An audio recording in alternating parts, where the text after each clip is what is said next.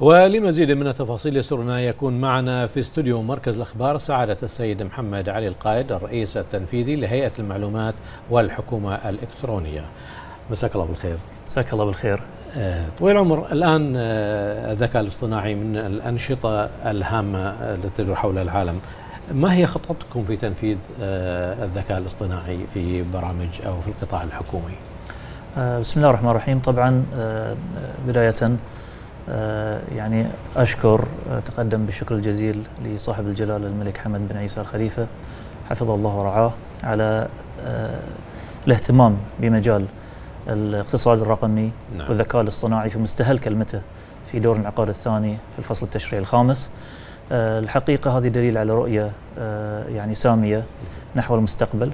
مثل ما نعرف أن في العهد الزاهر مملكة البحرين حققت الكثير من الإنجازات مثل ما تفضلت قبل قليل وبعد كل هذه الإنجازات يجب التطلع إلى المستقبل. ما هي الخطوة التالية؟ الاستفادة مما وصلنا إليه والانتقال للخطوة التالية. نعم.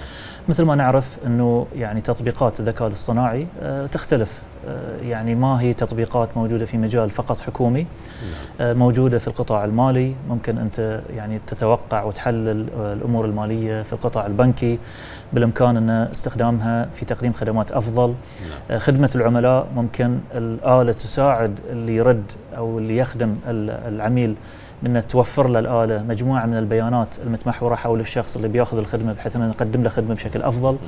من تطبيقاتها على سبيل المثال في القطاع الصناعي أن الصناعة تكون فاعلة أكثر نعم. ونقلل فيها التكلفة إما في الكهرباء إما في آه، إنتاج آه، منتجات بشكل أفضل.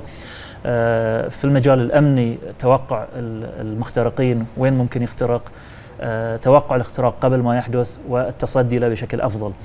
إذا إذا كان هذه هو المفهوم مفهوم شامل. إذا آه، توجيه السامي من جلالة الملك المفدى كان توجيه عام لكل قطاعات المجتمع.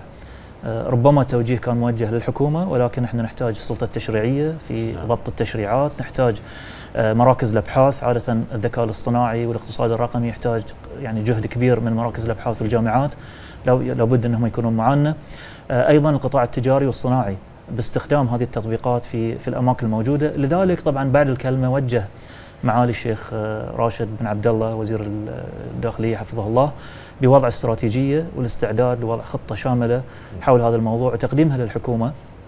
آه، إحنا الحقيقة نعمل الآن على وضع هذه الاستراتيجية آه، إذا كان الدور دور يشمل الجميع وليس دور حكومي ما هو دور الحكومة؟ دور الحكومة طبعا دائما يكون ممكن بالاستثمار لما الحكومة تبدأ تستثمر في مجال معين معناته تشجع القطاعات الاقتصادية إنها تستثمر آه، نعطي نوع من الدعم لمراكز الأبحاث إن يكون توجه دراساته في اتجاه معين أيضا ب اعداد الكوادر البشرية وتدريبها بحيث إنها هي تكون مستعدة لهذه القفزة والطفرة في المرحلة القادمة.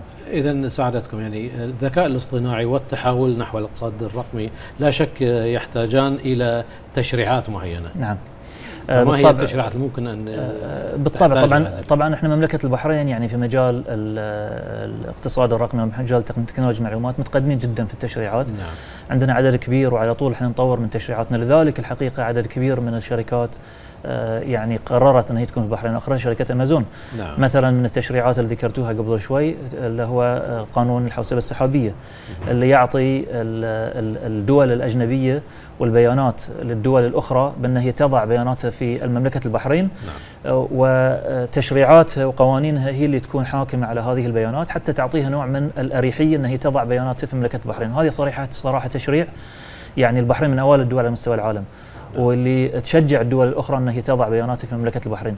عندنا مثلا خصوصيه البيانات، امن, أمن سريه البيانات إلى آخره، في في قدر كبير جدا من التشريعات اللي يجب ان هي تساند. نعم. إضافة لذلك طبعا البنية التقنية عندنا متقدمة، البحرين الدولة الرابعة تقنيه من ناحيه البنية التقنية للاتصالات.